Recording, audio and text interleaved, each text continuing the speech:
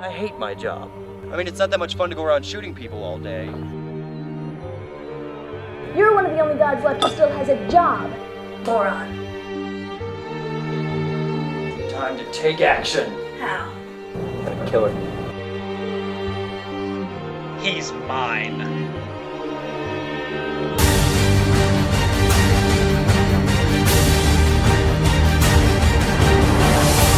You're the one woman I can't shoot.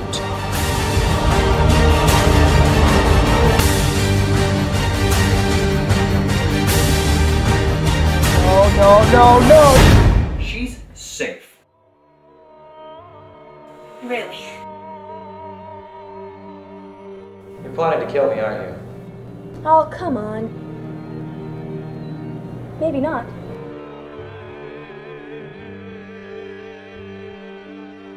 Oh my god!